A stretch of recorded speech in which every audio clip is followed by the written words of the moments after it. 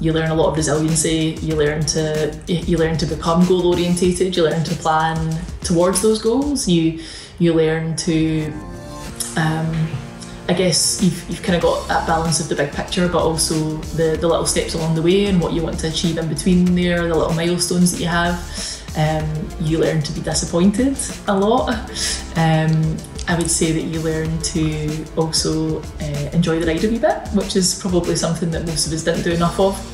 Um, and I would just say all of that is so applicable to life, life itself. I think even in my professional career now, that um, you know, being used to having that coach athlete relationship is really valuable. Now that I'm in a more professional setting, a more corporate setting, and I have that probably a similar, not quite the same, but a similar relationship maybe with mentors or with managers, um, being able to take feedback, apply feedback, and see what comes out the other side of it. You know, all, that good stuff that you you learn and probably take for granted as an athlete. That, um, yeah, no doubt serves you well when you go into you go into business.